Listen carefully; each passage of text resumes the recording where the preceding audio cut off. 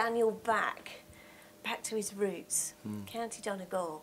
It's quite a humble beginning, wasn't it? Yeah, I was born in, in a very small village uh, called Kincasslagh. It's in the northwest coast of Ireland. And uh, we're right by the sea.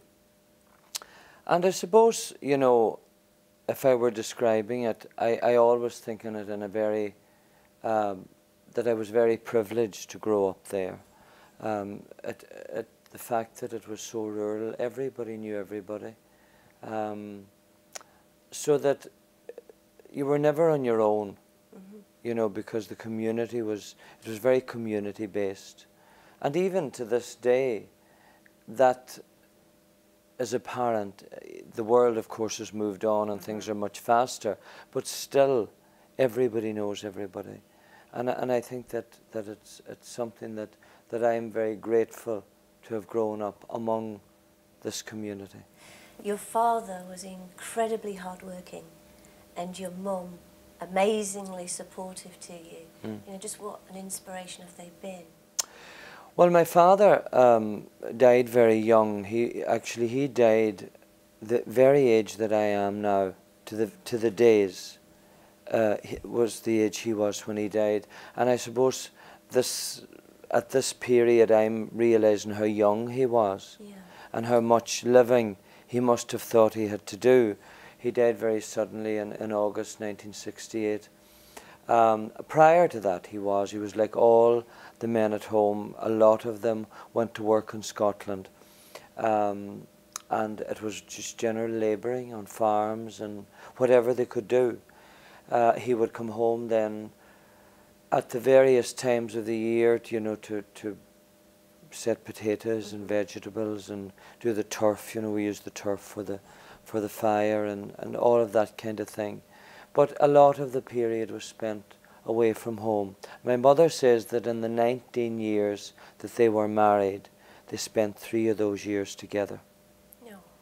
So it's, you know, it was a hard life. And it wasn't just my mother and father, it was most mm. of the couples at home, you know, experienced the same thing. Uh, my mother, on the other hand, I suppose after my father died, she was the, the mainstay. Mm. And although it, it was um, very difficult for her, we certainly didn't want for anything, you know. Do you think you've taken that on through your life though? Because you are an incredibly hard-working person. You're very supportive and loving to your fans. Do you think you've got that from both your parents? I suppose, yes. You, you, you, I suppose you get these, whatever way you are, from the people that you grow up with and certainly, you know, from my mother, I would have gained a lot.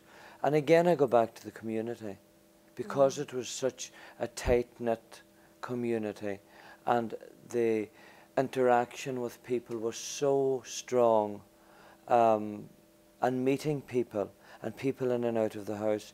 It, when I meet people, I feel the same way as I did, yeah. you know, 40 years ago. Because whatever I would have done in life, I think to have interaction with people mm. would have been the most important thing. I found a similarity between us. Uh, you were in the choir at a young age, just like me. Do you think that actually helped to grow your faith as well? Well, I, I was always singing in the choir from I was very young. And, you know, when you grow up in a community like we did, it was very important. The church was very important. You know, we went to the church for every everything. There was all kinds of you know uh, feast days and October devotions and benediction and you know Lent and First Fridays and the May devotions and everything. There was so much more than there is now. Um, I think that uh, you know singing in the choir gave me the love of of inspirational music. I didn't know it was inspirational yeah. music. I didn't know what the word inspirational meant as a child, obviously. Uh, but, you know, to sing all the hymns and, and uh, there were the old hymns we sang in, in the church and, and to this day I love the old hymns. And when I was recording the, the albums of inspirational songs, there was a lot of the old hymns that I, I recorded um, as a result of this. But where does faith come from, or where would my faith come from? I think It's a combination of things. It's, it's yes, the, the opportunity to sing in the church, but growing up where I did, you know, it was not an option not to go to Mass. Do you understand? Uh-huh. Because it was ob- you ha- uh, an obligation. You, you didn't have a choice. And I'll, I'll clarify this as I go on. It was not until I started to travel that I realized I wanted to go to Mass. Right. I didn't not want to go when I was at home, but you couldn't miss it because number one, you couldn't stay at home because somebody would say you weren't going to mass, mm-hmm. and if you tried to hide somewhere, somebody would be sure to see you, Yeah. and you'd be, you know, somebody would find out. And it wasn't until I started travelling, and I found myself in cities, wherever it might be, on a Sunday morning. There wasn't the luxury of Saturday night uh, vigil mass then. I would find myself looking for churches, um, and I remember saying, "Well, why now am I doing this?" And I realised that I needed to do it yeah. just for me, Yeah. not for for my family or for the neighbours or for the priest or for the school teacher. It was for myself. I was going. When you look at a lot of reality TV stars nowadays, they do tend to have it sort of fairly set for them. They've got the record company, the managers, and it's all nice. But it wasn't like that for you at all. You really worked hard. Mm. Well, you know, the opportunity to travel with Margaret was brilliant. I suppose it was a bit like an apprenticeship, if you want to call it that, because I was able to stand back. There was no demands on me at all. Sing a few songs, and observe what it was like in the music business. But when I started on my own, I made the record Donegal Shore and Stand Beside Me in February '83, and then released it uh, a few months later. That was starting from nothing. You funded it all yourself, didn't Funded you? it myself, and um, I released the, the record. Got a thousand records. It cost um, about twelve hundred pounds. Euro. I don't know what it was, punts, I suppose, at the time, uh, to make the record, and uh, I think it was punts, and um, I got a thousand records for that, Wow. and I sold them for one fifty. So did made that a- yourself as well, so I didn't made- you? I did. I sold them anywhere and everywhere, even on a bus to Knock. we went on a bus trip to Knock, and I sold them to people that didn't even have record players. I wasn't fussy, you know, as long as I got the money. You met your manager, Sean, Mm. and things went through the roof busy. Yes, I, I think meeting Sean was was the best thing career-wise that happened to me. Um, I had uh, formed a band in 1983, and we stayed together for a year, just playing around home and a few other places, but we had no great success. Then I had another band for a few years. A friend of mine, Nan Moy, was my manager, and we did better, but you know, neither Nan nor I had the, I suppose, the the know-how or the, the, the financial backing to go forward and eventually at the end of 85 having met Mick from Ritz Records. Uh, I did the Irish Festival in London in 1984 and Mick was there. Um, and um, through that they approached me to see would I make a record. And of course it was a wonderful thing. This this was started in '85, and uh, but by the end of '85, the album was released. It was called The Two Sides, Mhm. one being country and one being Irish, because I did both songs. And uh, at the end of '85, we were getting very small crowds, and I financially couldn't continue. Mhm. And um, I went to see Mick in December, and just to say that I didn't think I was going to continue. And he then said, Well, you know, we're getting a good reaction to the record. He says, What, uh, you know, are you tied to your band? Is, are you, do you have contracts signed? And I, I had nothing signed with anybody. No. He says, I think that, you know, if you looked at a, a, a different band and, and just took a different approach, it might work out better. So I went off the road in January 86 and four, three of, of the band that I'm with now, the four of us, are together since March '86, Wow. and um, it was literally in that period like switching on a light. Mhm. How quick it changed.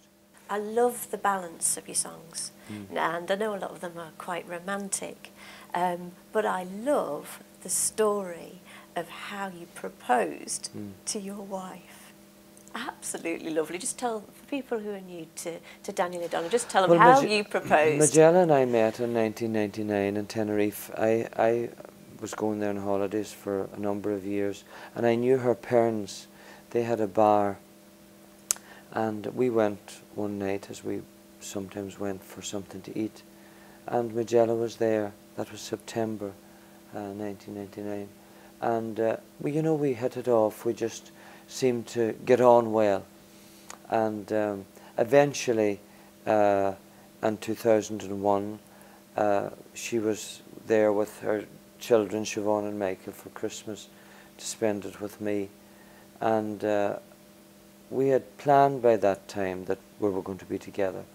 So um, on Christmas Day, we were having dinner at the house and at our at where, I lived, and um, my mother was there and my sister and some neighbours that always join us, and um, I said to Majella, I said, you should go and phone your mother, and she went to. I said, I'll do it later, and I said go and phone her on Christmas Day before we start the dinner.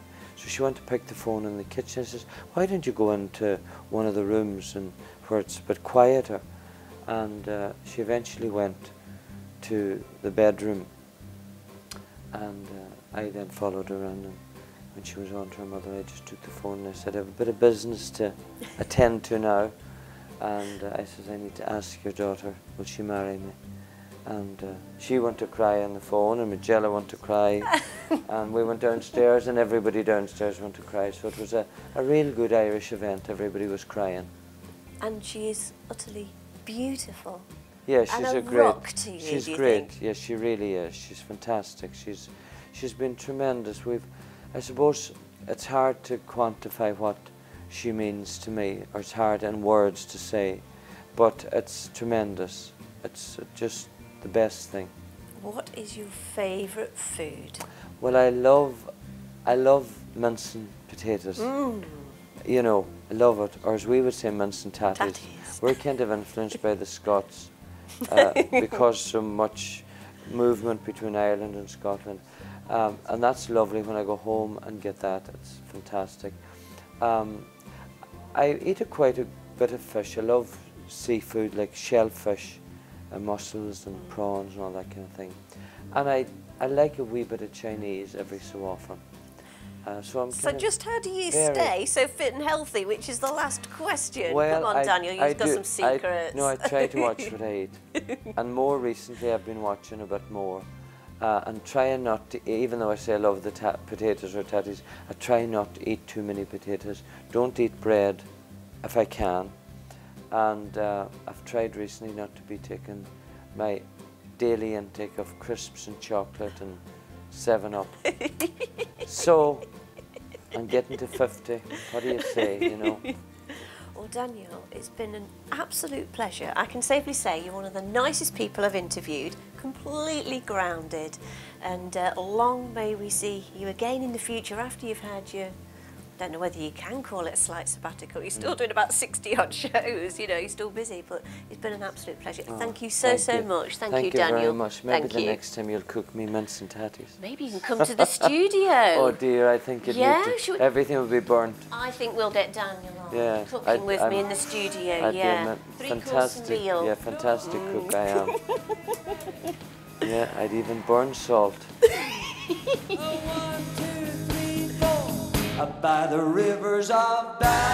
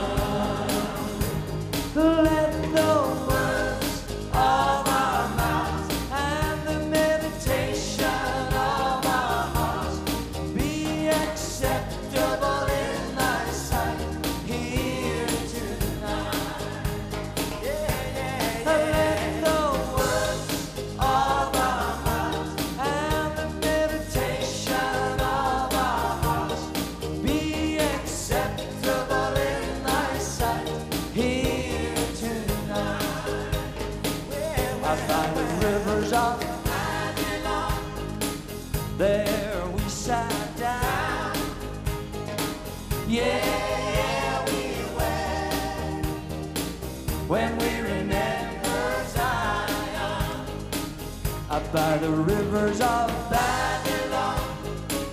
There we sat down. Yeah, we wept when we remember Zion. Up by the rivers of